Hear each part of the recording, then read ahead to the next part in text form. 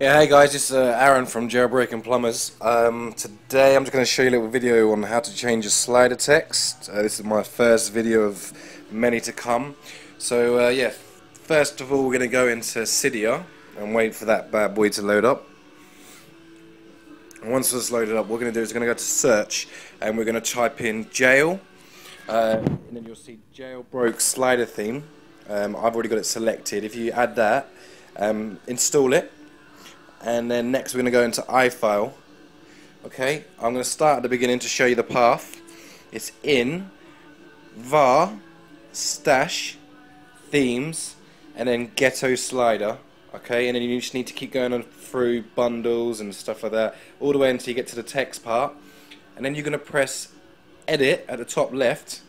Okay and then you're going to edit out uh, enter the ghetto because once you edit that out and put whatever you want, that will change your slider text.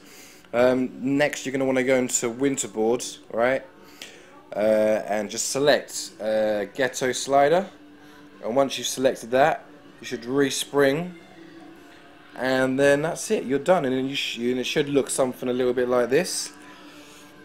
Uh, hopefully this was helpful. So quick thing because it's an easy job to do. Uh, any questions or anything, let me know. Um, and any any videos you need showing on, uh, give us a shout, and I'll um, and I'll add the videos for you guys. Okay.